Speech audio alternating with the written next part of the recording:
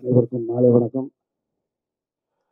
பத்திரிகை தொலைக்காட்சி இணையதள சகோதர சகோதரிகளுக்கு முதல் வணக்கம். ஒரு மூணு நாளைக்கு முன்னால் ஒரு விளம்பர படத்தில் மத்தியானத்துலேருந்து தண்ணி ஊற்றி சொன்னால் குரல் கொஞ்சம் இன்ஃபெக்ஷன் தப்பு அடிச்சுக்காதீங்க தண்ணி ஊற்றி இல்லை தண்ணி தலையில் ஊற்றி அதனால் வந்த எஃபெக்ட்டு கொஞ்சம் குரல் பிரச்சனையாக இருக்கும். அவ்வளோதான் மற்றபடி எனது தம்பி பாஸ்கர் தயாரிப்பாளராகவும் இயக்குனராகவும் சுயம்பாக தன்னை விசுவாசித்த நண்பர்கள் முதலாளிகள் தன் பூர்வீக சொத்தினுடைய ஒரு கட்டணம் இதையெல்லாம் முதலீடாக வைத்து ஒரு இரண்டு கதாநாயகனும் ஒரு டீம் உருவாகிறதுக்கு காரணமாக ஒரு படைப்பை கற்றது மற களவும் கற்று மறைன்னு சொல்லுவார்கள். நீ கற்றதை மற அப்படின்னு மெமரி லாஸ் ஆகிக்க எப்போதும் குழந்தையாவே இருந்துக்க. அப்படிதான் நான் நினைக்கிறேன்.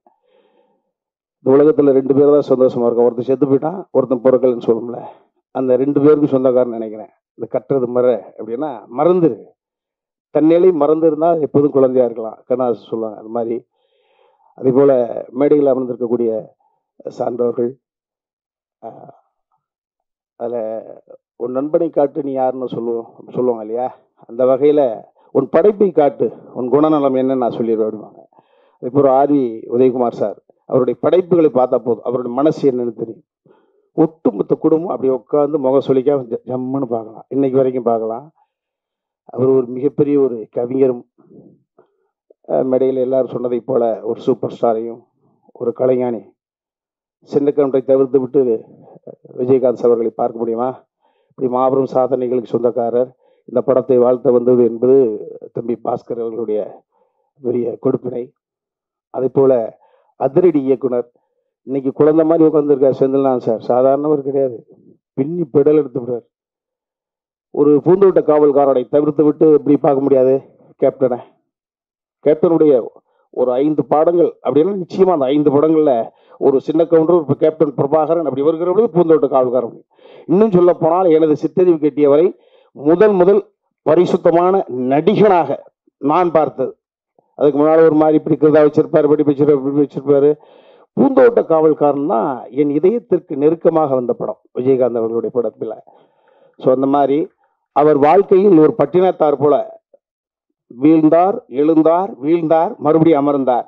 அதே போல மன உளைச்சல்களை எல்லாம் மருந்தாக தாண்டி இன்றைய தினம் இங்கே அமர்ந்திருக்கிற பொழுது அவரை இயக்குனர் சக முன்னோடி என்று கருதி அவரை அழைத்து அவருக்கு வாய்ப்புகள் வழங்கி கொண்டிருக்கக்கூடிய அத்தனை நல்ல இதயங்களுக்கும் நான் தலைவணங்கி நன்றி சொல்கிறேன்.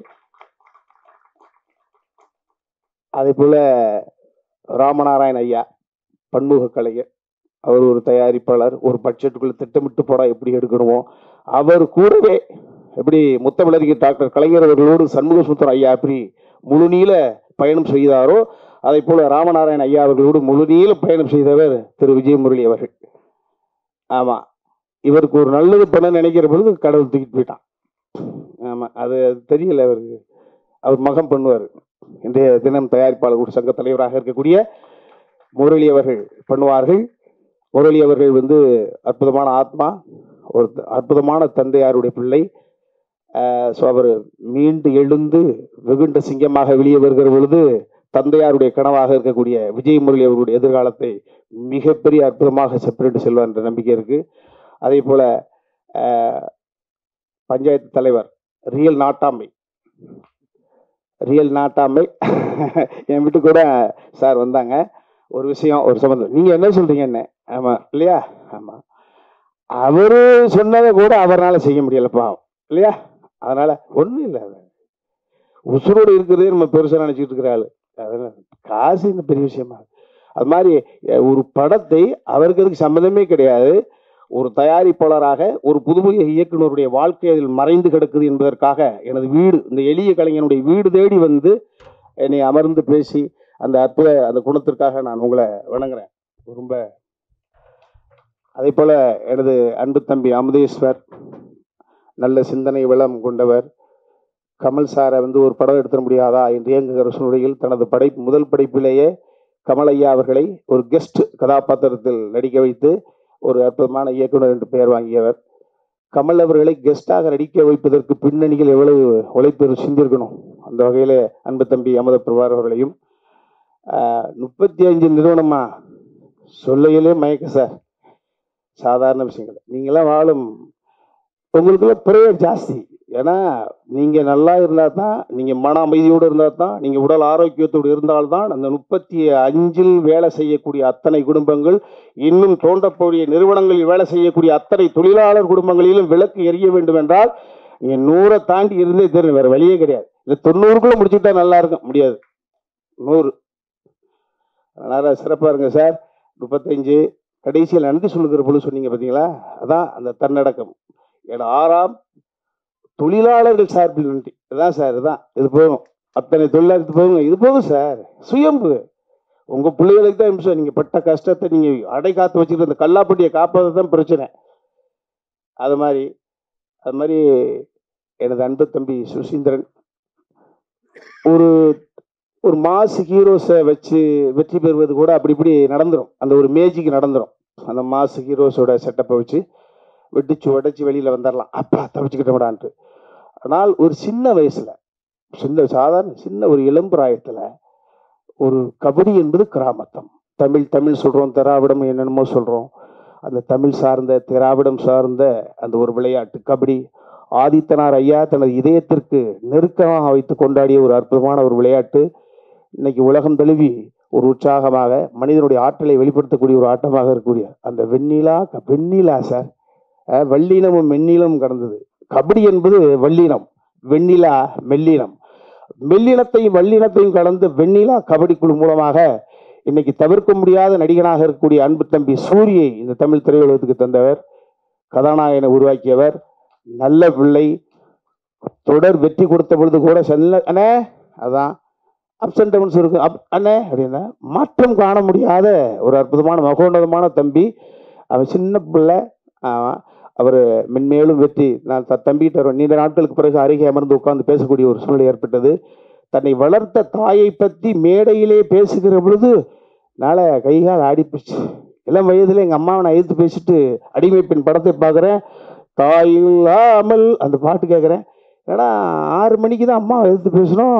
எட்டு ஏழு மணிக்கு ஏழரை மணிக்கு அம்மாவை போய் கட்டி பிடிச்சிட்டேன். அதே மாதிரி தாயை பற்றி பேசுகிற ஒரு மாதிரி அன்பு தம்பி சுசீந்திரன் தாய் இறக்கவில்லை. காலமானார்கள். தான் தமிழ் அற்புதமான வார்த்தை. அவர்கள் காலமானார்கள். காலம் என்றால் கடவுள். அவர் கடவுளாக இருக்கிறார்கள். உங்களை முயற்சி இன்னும் நீண்ட நெடிய பயணம் இருக்கிறது. மேலே இருந்து உங்களை வாழ்வி பார்த்து கொண்டே இருக்கிறார்கள். நீங்கள் சிரமப்படுவதற்கு ஒரு நொடி பொழுதும் அவர்கள் விடமாட்டார்கள். நீங்கள் கண்ணீர் சிந்தினால்தான் அந்த ஆத்மா கவலைப்படும். கண்ணீரை களைத்து விட்டு இந்த தமிழ் திரையுலகத்தில் வீறு நடைபோடுங்கள் தன்பு தம்பி. அதே போல அன்பு தம்பி இப்ப நான் பேசினா ஏதோ பாஸ்கர் சொல்லி கொடுத்து தம் கட்டி பேசுற மாதிரி இருக்கும். ட்ரெய்லர் பார்த்ததை வச்சுட்டு நம்ம பேச முடியாது. அற்புதமான ட்ரெய்லர் ஆமா அன்பு தம்பிகள் வெற்றி பெறுவதற்கு வாழ்த்துக்கள். போதுமில்ல? படம் பேசட்டும் படம் பேசட்டும். அது மாதிரி பாஸ்கர் ஒரு ஒரு நிலைப்பாட்டில் நான் இயக்கிய படங்கள் குறைவாக இருந்தாலும் கூட என்னோடு இணைந்து வசனங்களிலே கதைகளிலே வளம் வலம் வந்தவர்கள் நிறையா தம்பிமார்கள்.